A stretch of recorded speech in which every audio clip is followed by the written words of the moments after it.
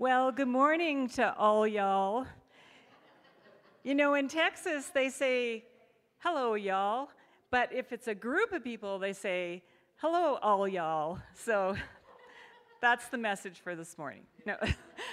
anyway, welcome here, whether you're tuning in from home or whether you've rode your horse over here today. Uh, we're so glad that you're here, and we hope that you enjoyed the message. And I've been looking forward to today's message because it's got some pretty deep stuff for us that's going to help us in, in our day to day lives. And uh, recently, we've been going through some problems, um, some um, medical problems with one of our grandsons. And, you know, it's tough. It's tough going through these things. And we're going to hear about it today. Um, but uh, do we have any country and western music fans out there at all? Oh, good. Hey, Donovan, are you going to play any country and western today? Okay, well, anyway, there's a song uh, that Garth Brooks sings, and it's called Unanswered Prayer. And it goes something like when you're talking to the man upstairs, uh, just because he don't answer doesn't mean he don't care. Some of God's greatest gifts are unanswered prayers. So, I don't know if it's unanswered prayers or what it is, but uh, uh, Pastor will tell us about that today. And I just pray that the message today infiltrates your heart and your mind and your soul. And uh, let's worship together.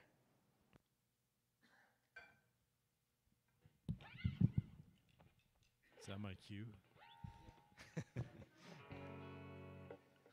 You're welcome to stand and join us.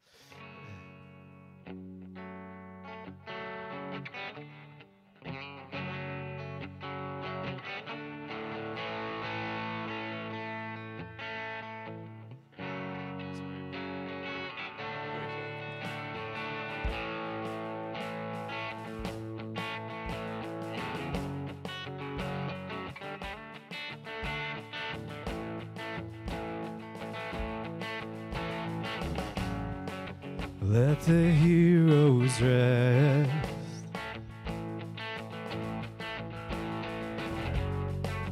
Let the striving cease.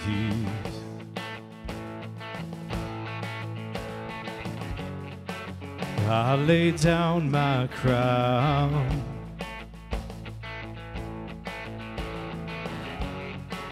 Here at your feet.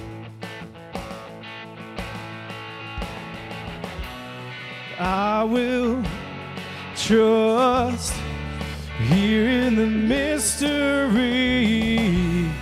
I will trust in you completely awake my soul to sing with your breath in me.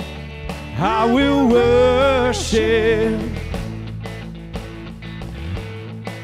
Yeah, you taught my feet to dance upon disappointment. I, I will worship.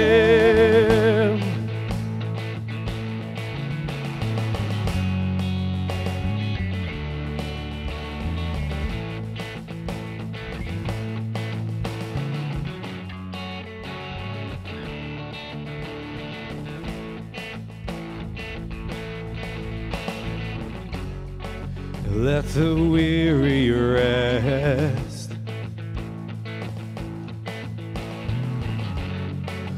Lift their eyes to see.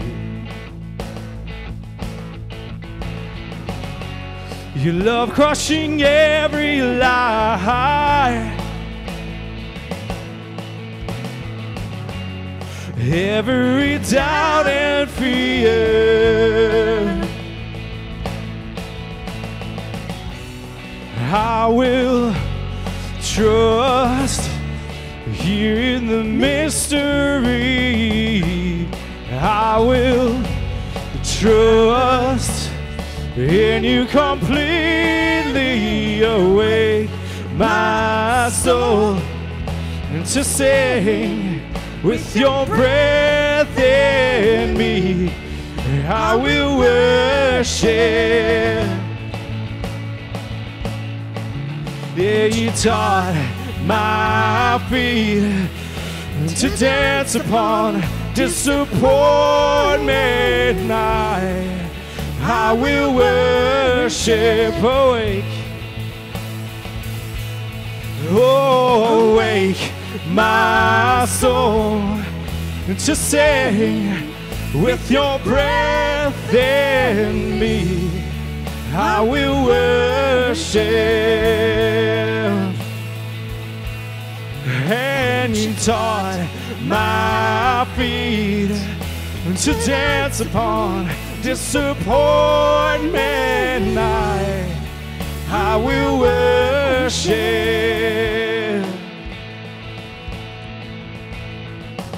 Hallelujah, hallelujah. You are making all things new. Hallelujah, hallelujah. You are making all things new. Hallelujah, hallelujah. You are making all things new. Hallelujah, hallelujah. You are making all things new. Hey, oh, awake my soul to sing with your breath in me. I will worship. And you taught my feet to dance upon disappointment night. I will worship. Oh, my soul to sing with your breath in me. I will worship. And you taught my feet to dance upon disappointment night. I will worship. Oh, night, I will worship. And I, I will worship.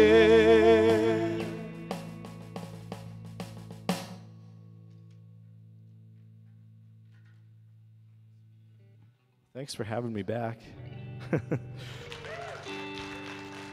good to see you all.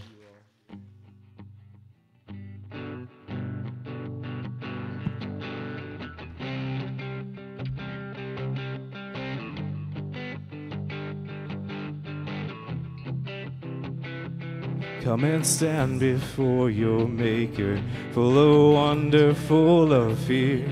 Come behold his power and glory, yeah, with confidence draw near. For the one who holds the heavens and commands the stars above is the God who bends to bless us with an unrelenting love. Rejoice. Come and lift your hands and raise your voice. He is worthy of all praise. Rejoice. Sing the mercies of your King, and with trembling rejoice.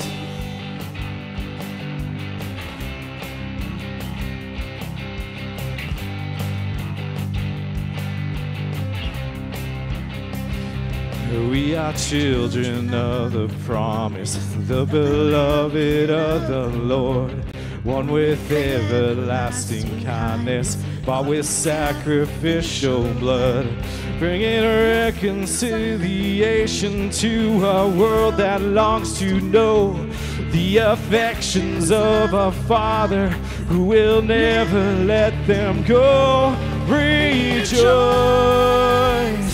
Come and lift your hands and raise your voice. He is worthy of all praise. Rejoice. Sing the mercies of your King, and with trembling rejoice.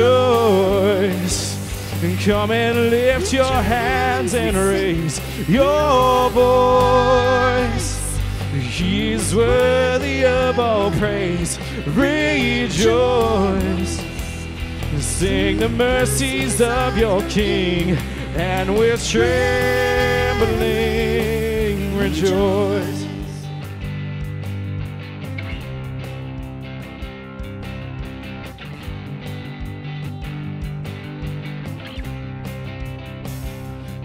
All our sickness, all our sorrows, Jesus carried up the hill. He has walked this path before us. He is walking with us still, turning tragedy to triumph, turning agony to praise. There is blessing in the battle. So take heart and stand amazed. Rejoice. When you cry to him, he hears your voice. He will wipe away your tears.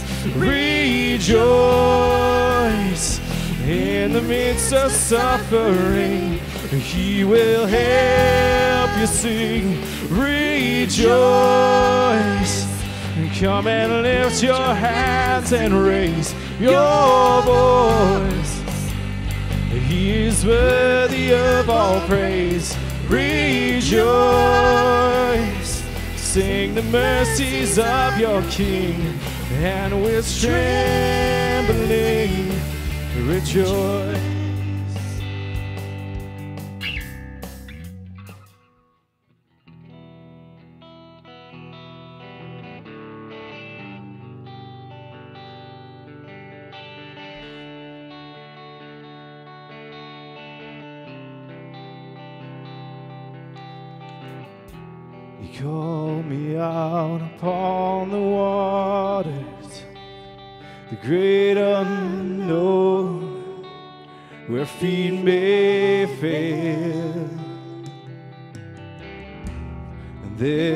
Find you in the mystery, and oceans deep.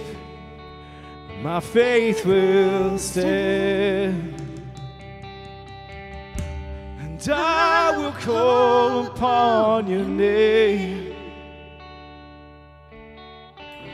and keep my eyes above the waves. When oceans rise, my soul will rest in your embrace.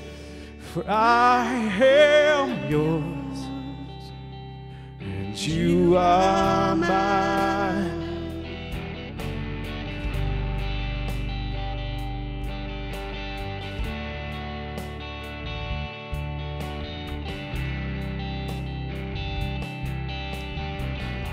Your grace abounds in deepest waters. Your sovereign hand will be my guide. Where feet may fail and fear surrounds me. You've never failed, but you won't start now. And I will call upon your name and keep my eyes above the waves. When oceans rise, my soul will rest in your embrace. For I am yours, and you are mine.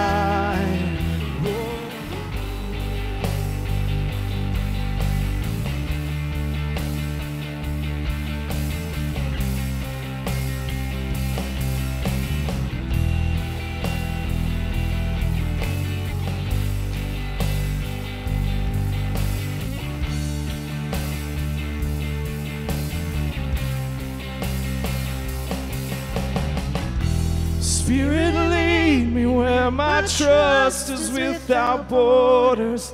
Let me walk upon the waters wherever you would call me. Take me deeper than my feet could ever wander.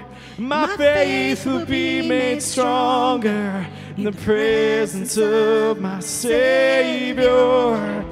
Spirit, lead me where my trust is without borders. Let me walk upon the waters wherever you would call me. Take me deeper than my feet could ever wander. And my faith will be made stronger in the presence of my Savior.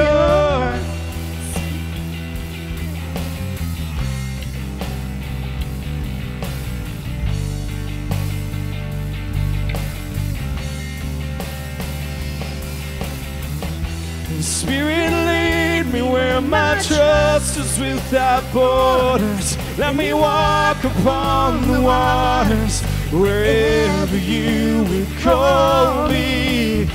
And take me deeper than my feet could ever wander. And my faith will be made stronger in the presence of my Savior. The Spirit lead me where my trust is without borders. Let me walk upon the waters wherever you would call me. And take me deeper than my feet could ever wander. And my faith will be made stronger in the presence of my Savior.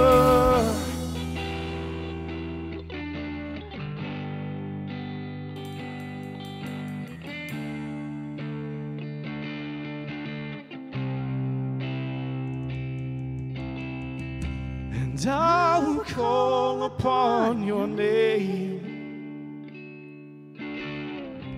Keep my eyes above the waves. When oceans rise, my soul will rest in your embrace. For I am yours, and you are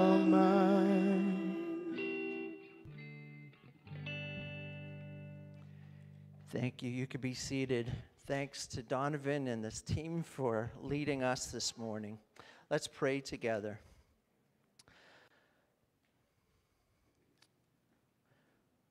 Lord, we have just sung a prayer that you would lead us and call us out upon the water into deep places in order that our faith would be made stronger. Now, that can just be lip service, that could just be a prayer. It's a cool sounding song, it has all the right ideas around it. But Lord, if we are brave, if we are risky, that can be a most profound and powerful prayer to pray. I wonder this morning, Lord, if we really mean it. I wonder if we really want to get out of the boat and step onto water. I wonder if we really want to push out into the depths. I wonder if we really want what it means to have our faith made stronger.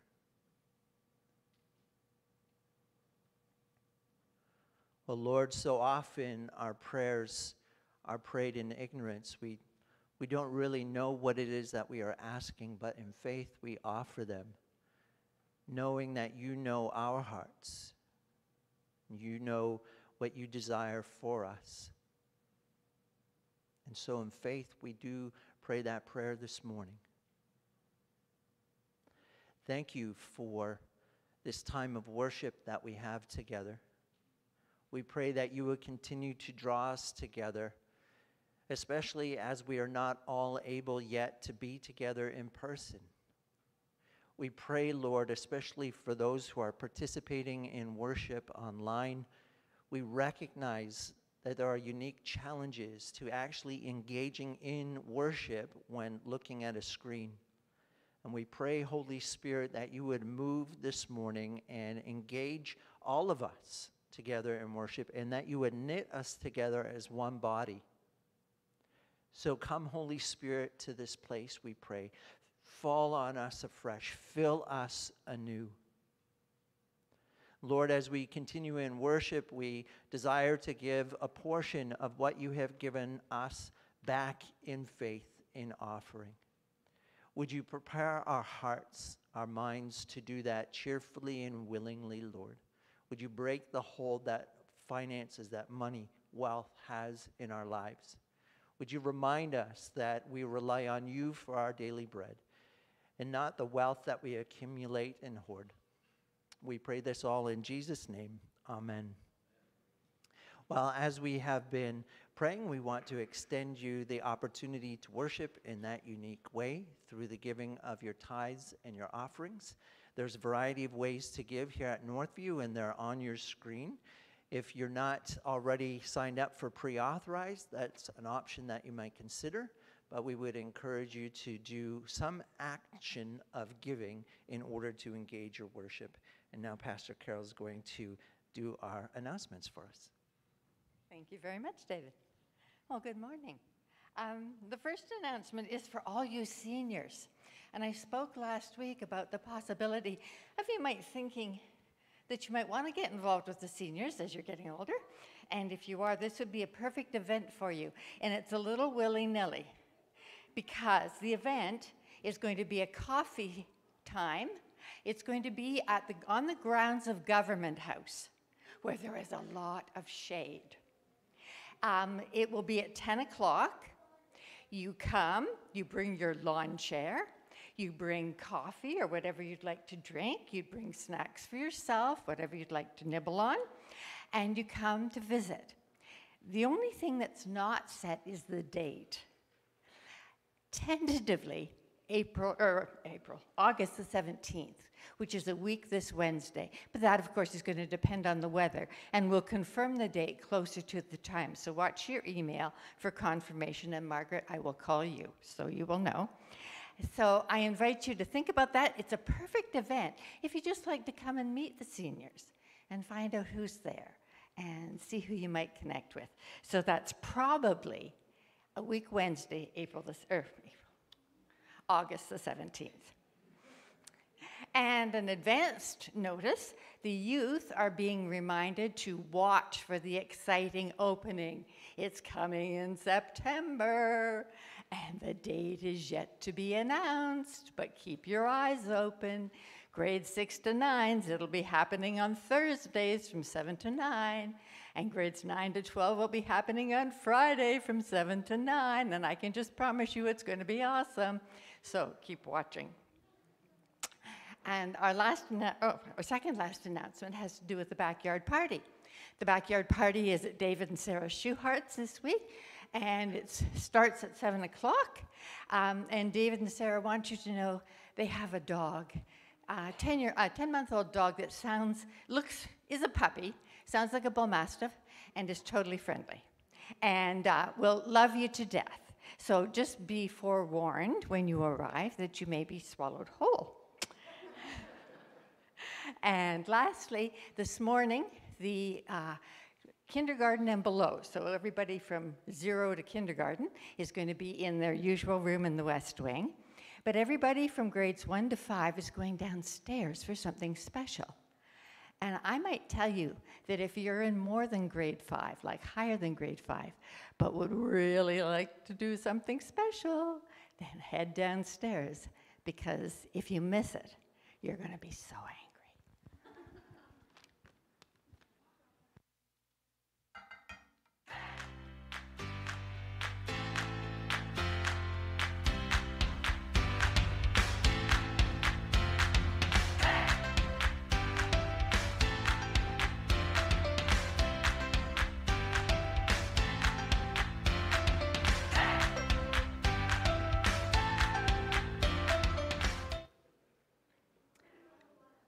Well, this morning I'm going to be reading our first scripture passage for the new series on the book of Jonah. And um, I, I, threatened I would slap Dave with a fish. And if you know Veggie Tales, you know why I would slap him with a fish. If you want a really good version of, of Jonah, watch the Veggie Tales one because you get to slap people with fish. Anyway, Jonah chapter 1, verses 1 through 16. The word of the Lord came to Jonah, son of Amittai Go to the great city of Nineveh and preach against it, because its wickedness has come up before me. But Jonah ran away from the Lord and headed for Tarshish. He went down to Joppa, where he found a ship bound for that port. After paying the fare, he went aboard and sailed for Tarshish to flee from the Lord. Then the Lord sent a great wind on the sea, and such a violent storm arose that the ship threatened to break up. All the sailors were afraid, and each cried out to his own God, and they threw the cargo into the sea to lighten the ship. But Jonah had gone below deck, where he lay down and fell into a deep sleep. The captain went to him and said, How can you sleep? Get up and call on your God. Maybe he will take notice of us, and we will not perish. Then the sailors said to each other, Come, let us cast lots to find out who is responsible for this calamity. They cast lots, and the lot fell on Jonah. So they asked him, Tell us, who is responsible for making all this trouble for us? What do you do? Where do you come from? What is your country? From what people are you? He answered, I am a Hebrew, and I worship the Lord, the God of heaven, who made the sea and the land. This terrified them, and they asked, What have you done? They knew he was running away from the Lord because he had already told them so. The sea was getting rougher and rougher, so they asked him, What should we do to make sure the sea, make the sea calm down for us? Pick me up and throw me into the sea, he replied, and it will become calm. I know that it is my fault that this great storm has come upon you. Instead, the men did their best to row back to land, but they could not, for the sea grew even wilder than before. Then they cried to the Lord, O Lord, please do not let us die for taking this man's life. Do not hold us accountable for killing an innocent man, for you, O Lord, have done as you pleased. Then they took Jonah and threw him overboard, and the raging sea grew calm. At this, the men greatly feared the Lord, and they offered a sacrifice to the Lord and made vows to him. The word of the Lord.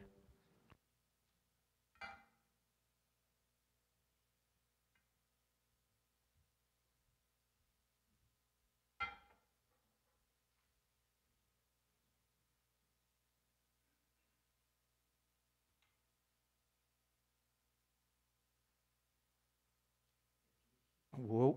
If you hear any drumming, that's just a special thing, so don't worry. We're not about to be attacked. Well, we're in a new sermon series. Last week, Pastor Carol finished off Prodigal God for us, and this week we're starting this new series in the book of Jonah called Fish Tale. Now, I know that is a picture of a whale's tail, and I know that a whale is not a fish, but it all fit together, so just live with it. Okay.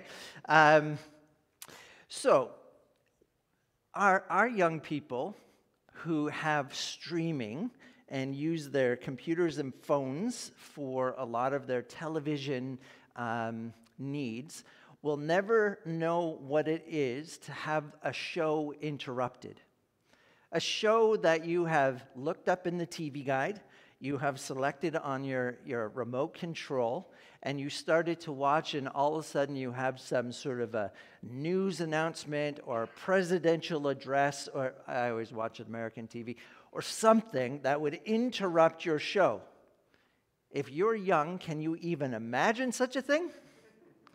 Well, and what was really cool was at the end of the announcement, they would say, We now return you to our show already in progress. So they, they didn't pause what was going on, they layered something over top of it. So now you have missed key plot points in your show, and it was really awful.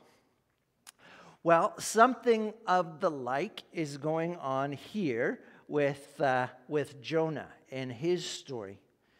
Uh, when we come to Jonah's story that Sarah read for us so well, um, you get the sense that Jonah's story is already in progress.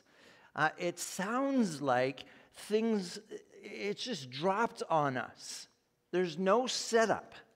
There's no kind of, here's who Jonah is, and here's where he lived, and here's what the life circumstances were like. No, just suddenly the word of the Lord came to Jonah. His story is already in progress. And that's an important thing to, for us to remember because Jonah's life, like our life, is just kind of in progress. Now, we know that Jonah is an Israelite. He is embedded with Israel's salvation history with their God. We also know that the book of Jonah is a part of kind of a subgroup in the Bible called the Minor Prophets or the Book of the Twelve.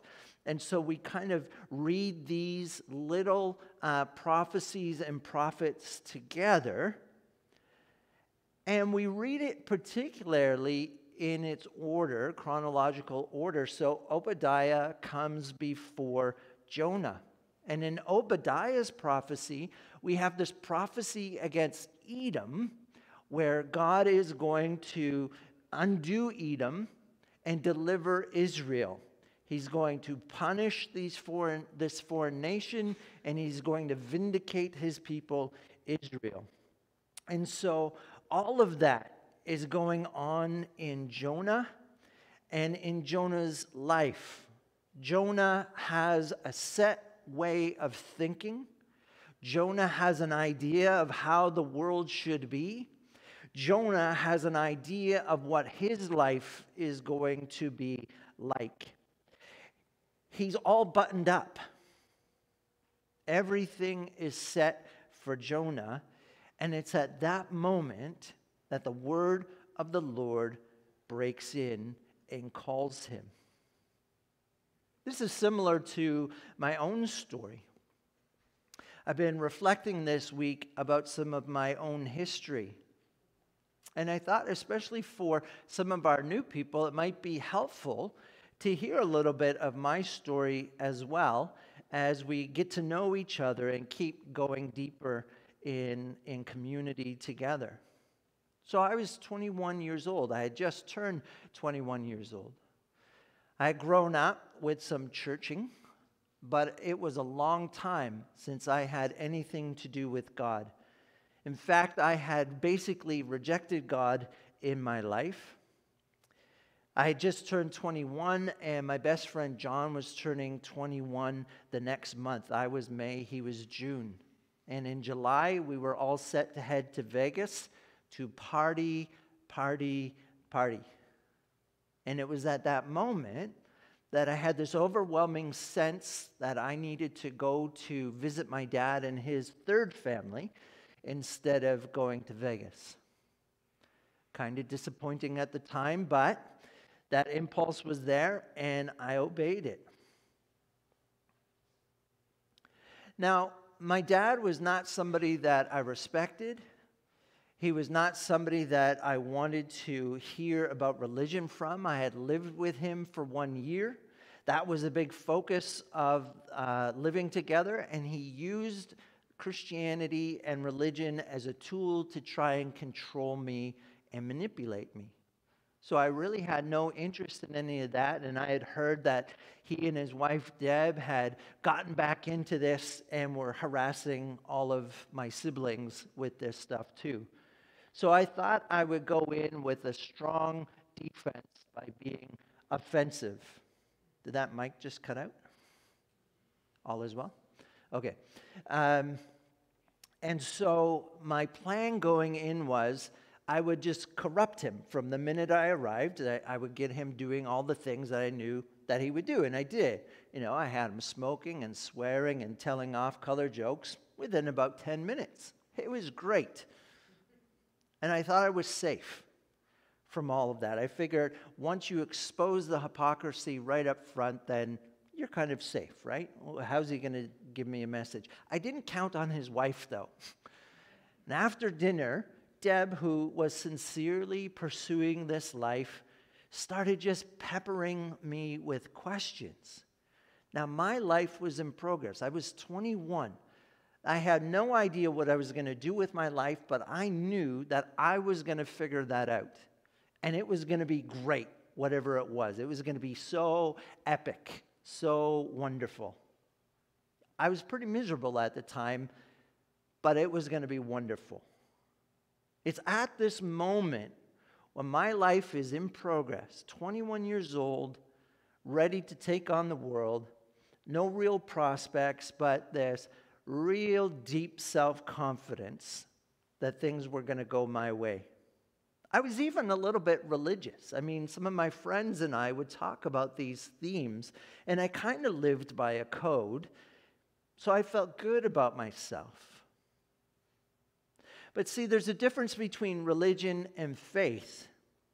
You see, in religion, and our friend Jonah was fairly religious.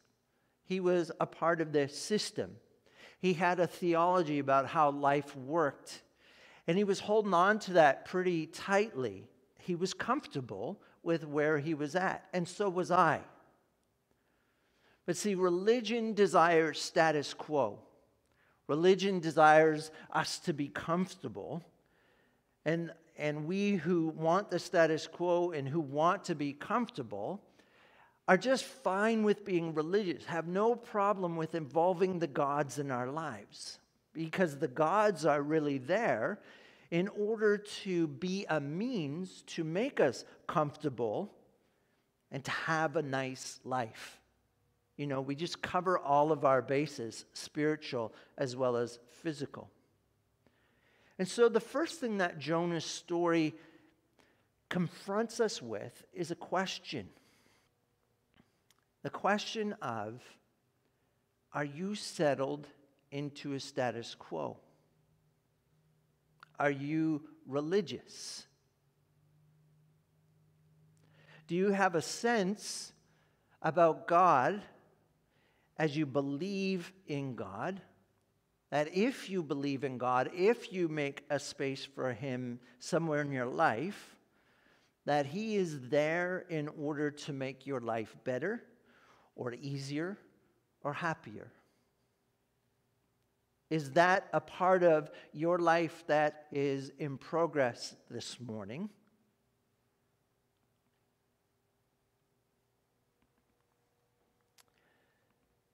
In faith versus religion, when your faith is living, there's something very disturbing and unstable compared to religion. God is the living God, and He is disruptive. God has this awful habit all through Scripture, and as testified by the lives of the saints, God is a God who disrupts the status quo. In preaching, we have a saying that says preaching should um, comfort the disturbed, but it should also disturb the comfortable. That's a good summary for God. He disrupts the status quo in the living faith. Now, you know that I'm a big fan of Lord of the Rings, and the book that comes before Lord of the Rings is The Hobbit. The Hobbit introduces hobbits and lets us know that they are generally fat creatures that love their comfort. So it's quite common that you'll hear them talking about enjoying their second breakfast before tea, before lunch, before supper, before tea. And they love to smoke pipes, sit on their porch, and greet one another.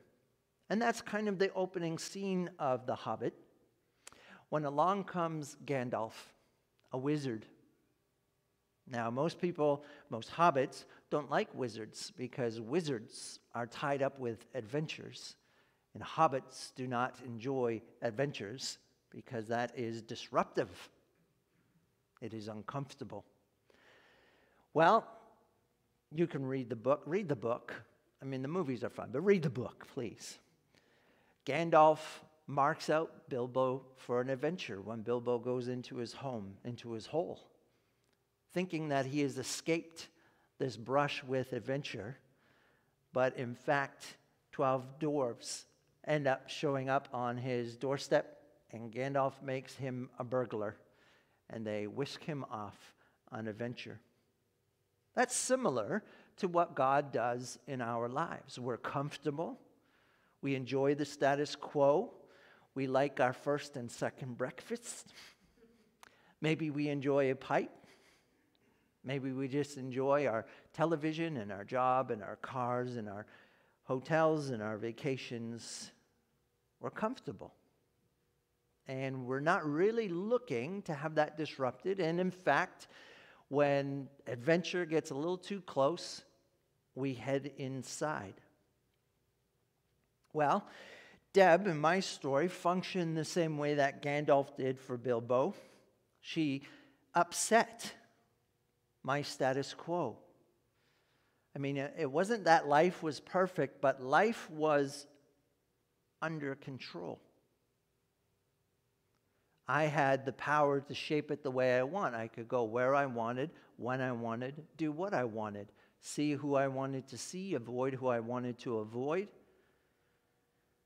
But she just kept on asking me questions about faith. And I was able to answer her, drawing on all my childhood Sunday school kind of material. But through her, God was disrupting 21 year old David Schuhart, confronting me with his presence and demanding something of me and what was really frightening was I didn't know what. What I did know is that the moment I had a sense of personal authority over myself, and as she pushed asking these questions, I could feel my grip on that starting to slip. To the point where I finally said, Well, I'm going to go outside for a cigarette now right? Status quo, comfort. Nice, comforting cigarette. And I let it bat into the house, and my dad had to deal with that. God calls Jonah to go somewhere that he does not want to go, to do something that he does not want to do. The verbs that, that God uses, that the narrator uses, is arise, go, call. Other prophets don't have to leave home, they can just stand on their own doorsteps and pronounce the prophecy against the nations. Other prophets don't have the sneaking suspicion that God is up to something. But God calls Jonah in the midst of his comfort in the midst of his sense of the way everything is supposed to go, in the buttoned up theology that he has, and he calls him to get up and go, to, in fact, through Jonah, disrupt others, to disrupt the great city of Nineveh, one of Israel's enemies, Assyria, to disrupt it. But first, Jonah has to be disrupted.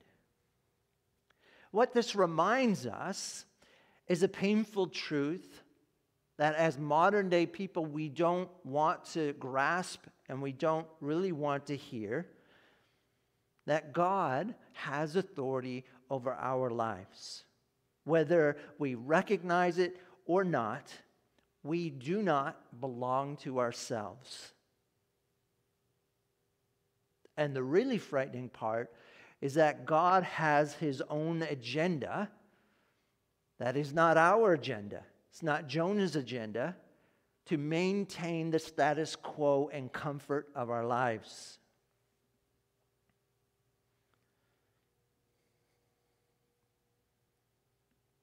God desires to disrupt us.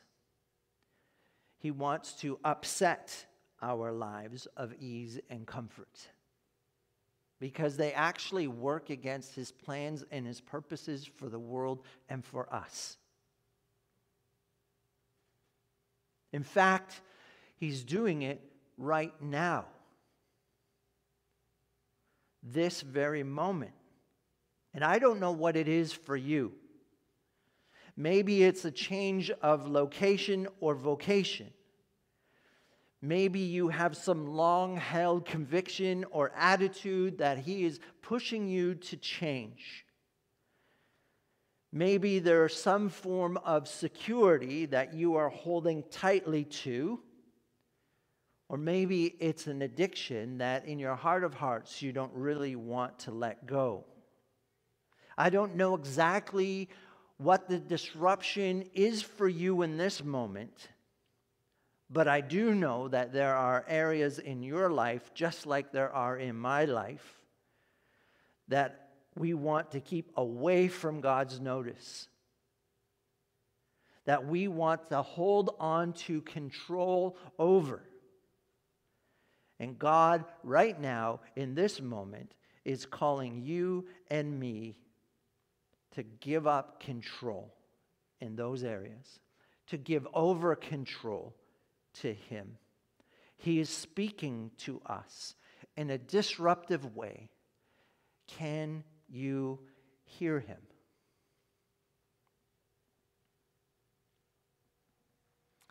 In our last series on the prodigal son, we talked about the way God functions using prevenient grace and cooperant grace. Now, we didn't use those terms. What we did talk about was to recognize that the Father allows the Son to leave, with the hope, of course, that the Son returns.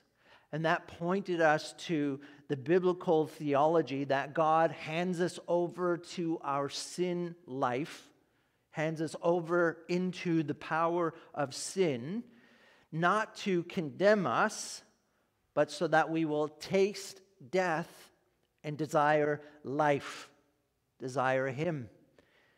And that He is gone ahead of us, working to draw us to Himself. In other words, we practice good Methodist theology. If you're talking to the bishop, let him know.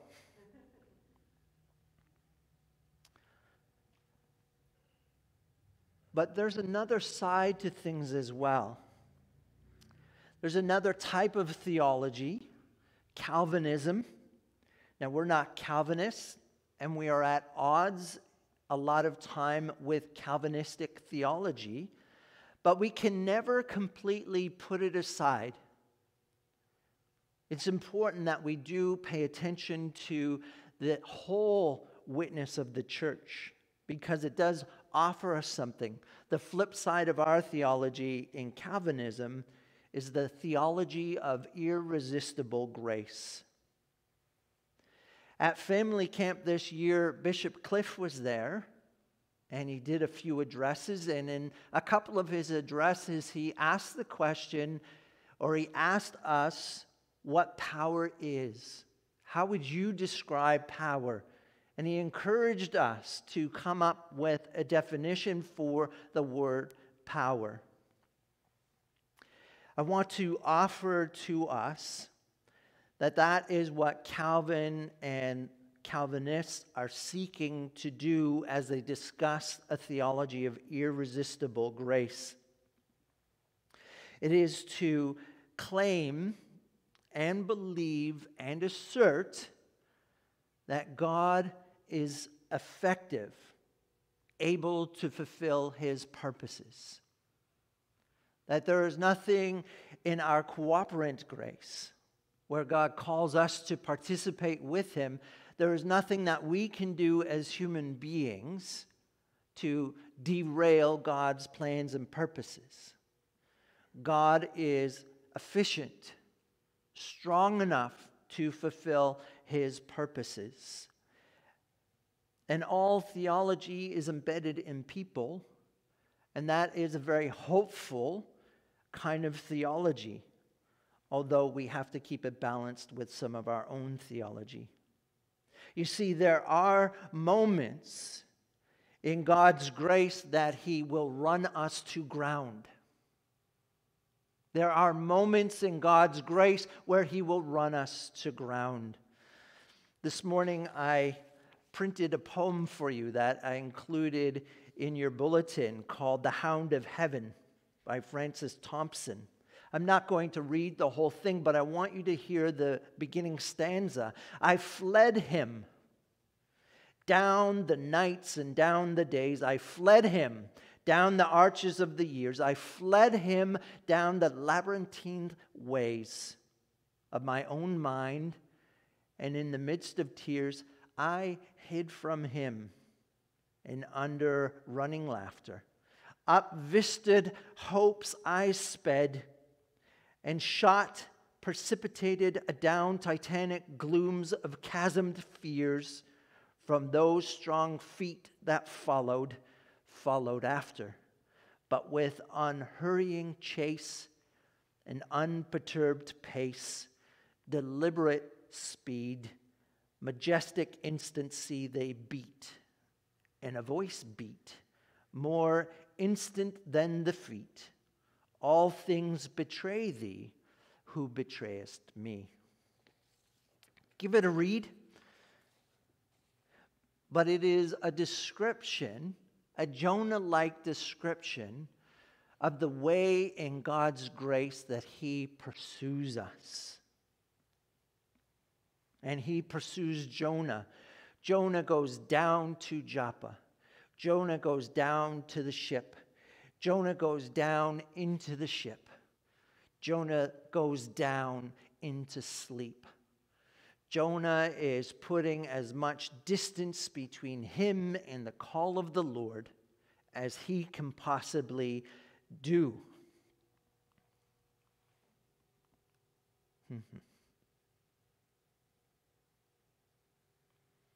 because not only does God disrupt, he pursues. And like that great wind that God hurls onto the sea in order to hound Jonah, God's pursuing presence is a great threat when we have determined in our hearts to flee from Him, from His face. In the face of that presence pursuing us, we suddenly realize just how small and weak and futile we are in our attempts to escape. The sailors themselves are caught up in Jonah's power struggle with God, and their story foreshadows the larger story of the book, the end result of the nations coming to worship Israel's God, Yahweh. For myself, that night, I flicked the cigarette away and I headed up to bed. And I lay on my back, staring up at the ceiling, unable to escape the oppressive presence that hung in the room like a cloud, letting me know that I could not escape, demanding that I respond instead.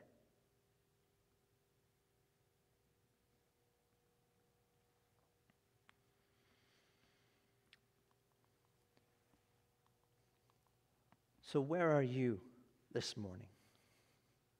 Are you in flight from God? Can you sense Him hot on your heels? Can you feel His breath on your neck?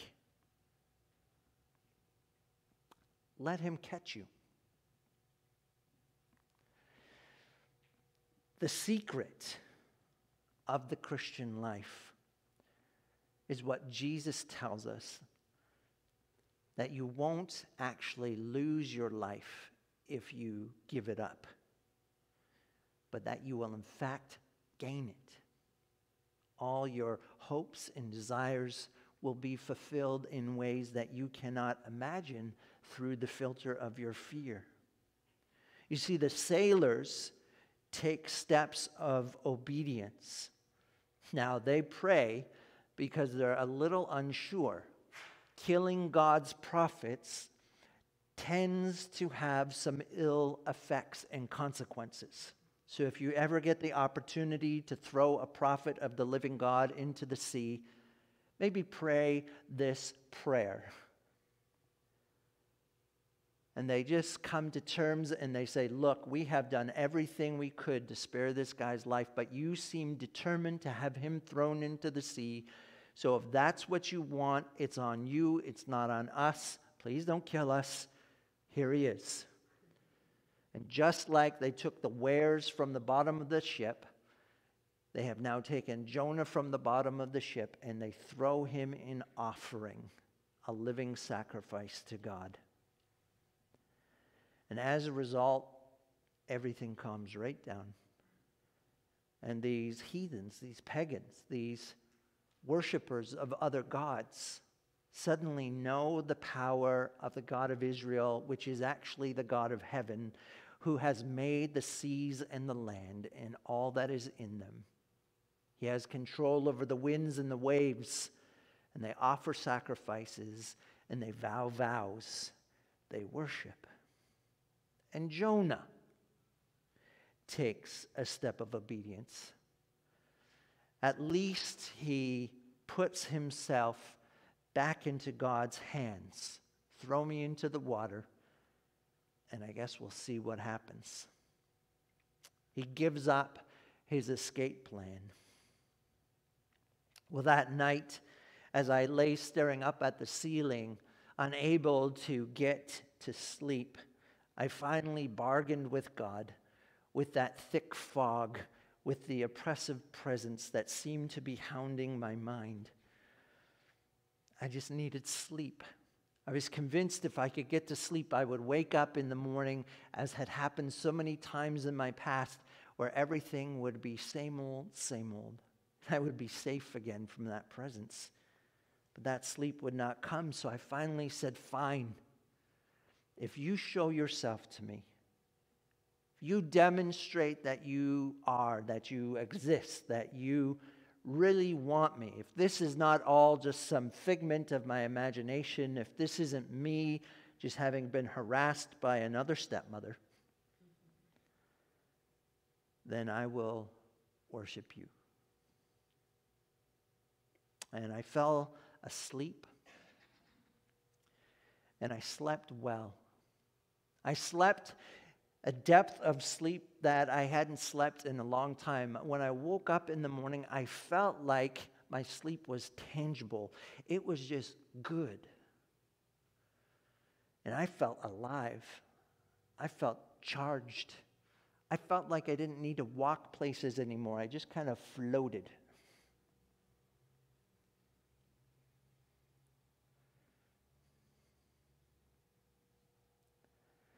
And everything was changed. The presence was still there, but it was no longer an oppressive, thick fog. It was now a reassuring, light, bright, comfortable, energizing, renewing, comforting kind of presence. See, at the center of our faith is the cross and resurrection of Jesus. To choose death, to sink beneath the waves, to allow that old self, that old comfortable status quo religious self, to drown, is to gain our lives truly for the first time. Often at nighttime, I'm the last one to go to bed. And as I shut things up, I do a, a mental assessment for my wife, my puppy, my children are, where they are laying their heads. And I think of you. And I think our, our life here together. I think of this vocation, this province, and that same presence of comfort and joy fills me. And I overflow with gratitude because I could never have anticipated this life. 21 year old David was too stupid, too inexperienced, too shallow to even dream that life could taste this sweet that things could be this good. I didn't even have it in me to hope or imagine.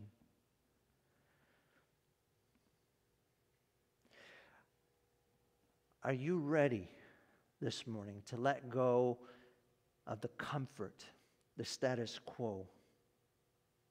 You ready to sing that song of Spirit, lead me, where my trust is without borders? To walk upon the waters, wherever you might call me? To take me deeper than my feet could ever wander? All in the presence of my Savior.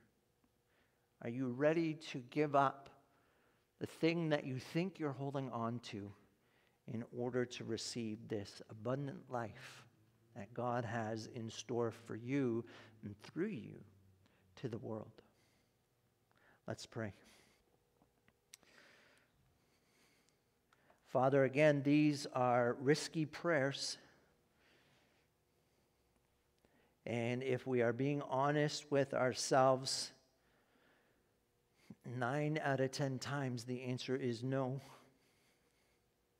Is not what I want.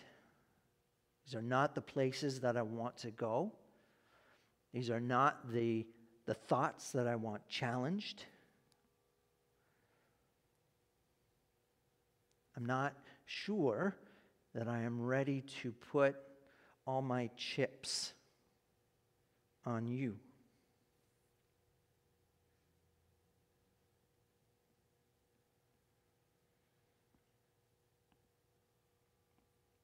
But we can feel your grace.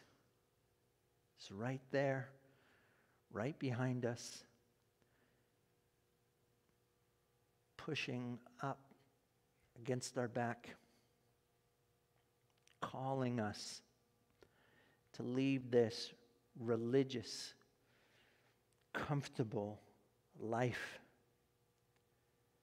in order to grab on to this living and uncomfortable, abundant life of adventure.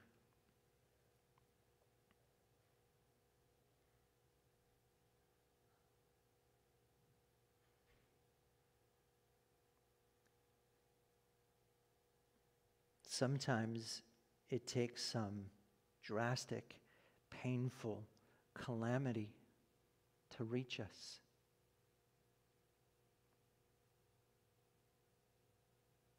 We don't pray for that.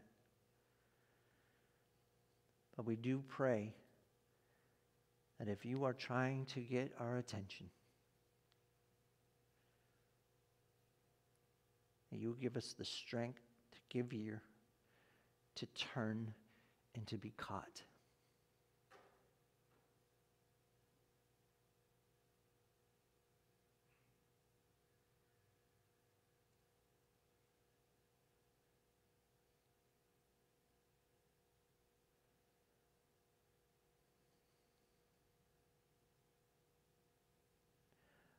Can hear you. Arise, go, call. even so come. Amen.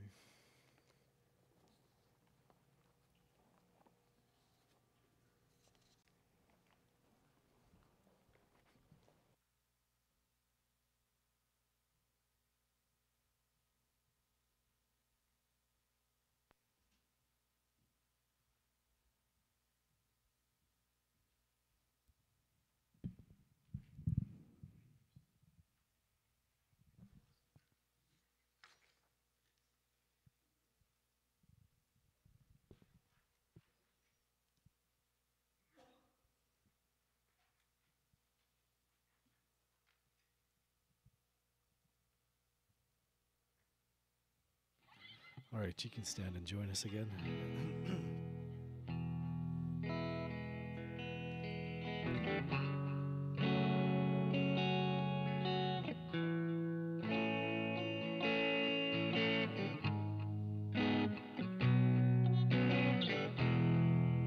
Your love is devoted like a ring of solid gold, like a vow that is tested like a covenant of old. Your love is enduring through the winter rain and beyond the horizon with mercy for today. Faithful you have been, faithful you will be. You pledge yourself to me, and that's why I sing your praise will ever be on my lips, ever be on my lips. Your praise will ever be on my lips, ever be on my lips. Your praise will ever be on my lips, ever be on my lips. Your praise will ever be on my lips, ever be on my lips.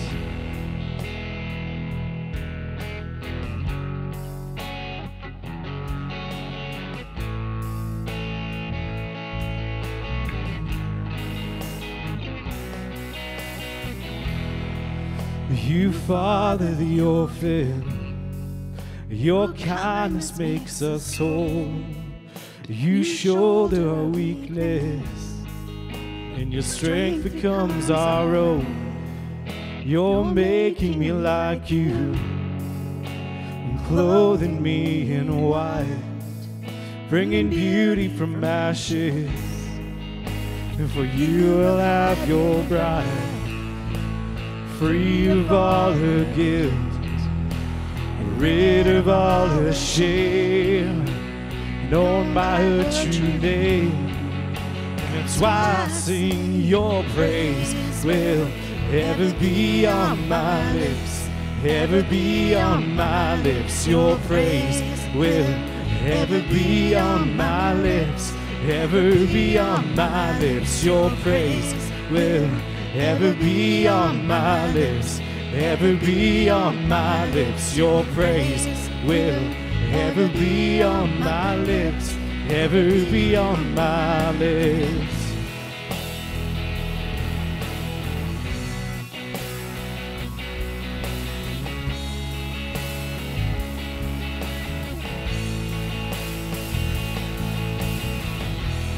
You will be praised you will be praised. With angels and saints, we sing, Worthy are you, Lord.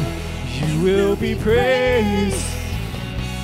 You will be praised. With angels and saints, we sing, Worthy are you, Lord. You will be praised. You will be praised. Angels and saints, we sing, Worthy are you, Lord. You will be praised. You will be praised. With angels and saints, we sing, Worthy are you, Lord. That's why I sing your praise will ever be on my lips, ever be on my lips. Your praise will ever be on my lips, ever be on my lips. Your praise will ever be on my lips, ever be on my lips. Your praise will ever be on my lips, ever be on my. Your praise will ever be on my lips, ever be on my lips. Your praise will ever be on my lips, ever be on my lips. Your praise will ever be on my lips, ever be on my lips. Your praise will ever be on my lips, ever be on my lips. Your praise will ever be on my lips ever be on my lips. Your praise will ever be on my lips, ever be on my lips. Your praise will ever be on my lips, ever be on my lips. Your praise will ever be on my lips, ever be on my lips.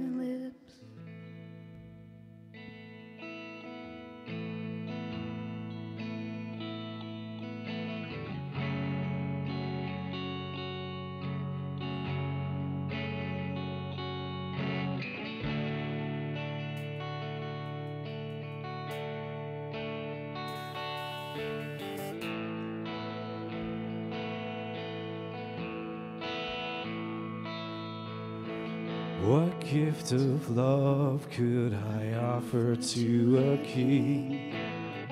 What weight of worth could be held within my offering when He alone is worthy?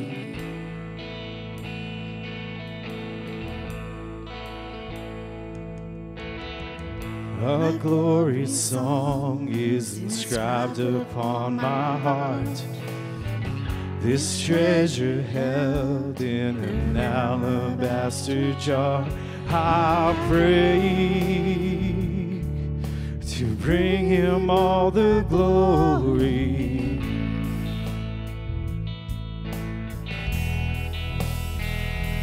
Praise God from whom all blessings flow.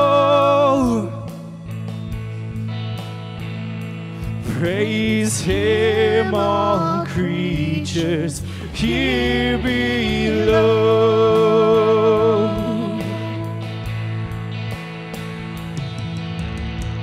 What sacrifice could be equal to His own? The cross of Christ has declared that there is not I own. And yet I know I owe him more. Praise God from whom all blessings flow. Praise Him, all creatures here below.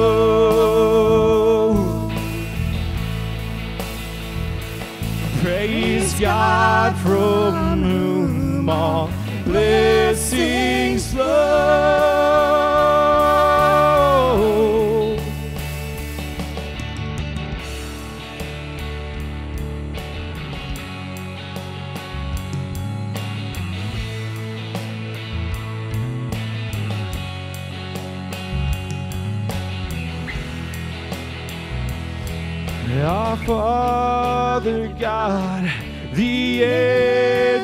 infinite, the matchless King, magnificent, the living Christ, the servant Son, the prophesied, the saving one, the Holy Ghost, gift from above, the faithful friend, the seal love, this life, this heart, this song to Him, my all in all, my everything. Praise God from whom all blessings flow. Praise Him, all creatures here below. Praise Him above, the heavenly hosts. Praise Father, Son, and Holy Ghost. Praise God from whom all blessings flow. Praise Him, all creatures here below. Him above, ye heavenly hosts. Praise Father, Son, and Holy Ghost.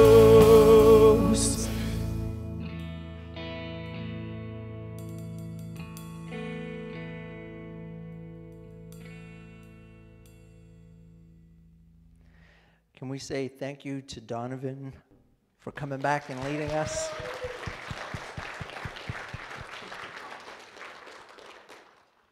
The uh, disruptive thing about worshiping a disruptive God is that it can be very disruptive.